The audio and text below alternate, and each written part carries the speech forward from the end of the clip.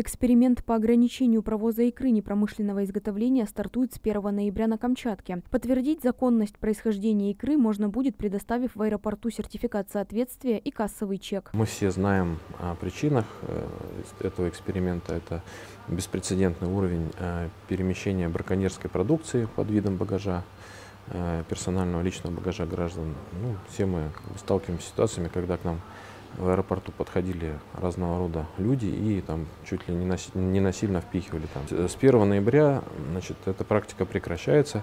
Каждый человек сможет перевести с собой э, не более 10 килограммов э, икры непромышленного изготовления. Обращаю внимание, что не всей любой икры, да, а только непромышленного изготовления. То есть икры, по которым не будет возможности доказать ее, э, факт ее промышленного изготовления.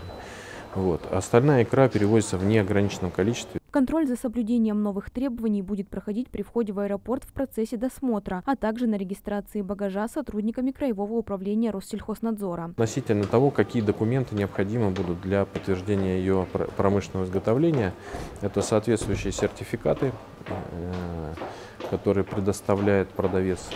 Поэтому если вы покупаете икру у продавца, и она э, ну, там, на рынке, например, но она официального изготовителя, то вы можете попросить соответствующий сертификат. Второй э, документ, который необходим будет, это документ о праве значит, владения, праве собственности на, эту, э, на этот продукт. Это чек, может быть, который вы получаете там, кассовый чек.